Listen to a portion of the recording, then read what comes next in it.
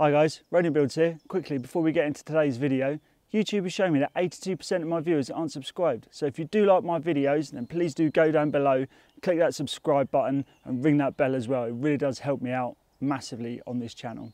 Okay, so there we go. Let's just get straight to the video.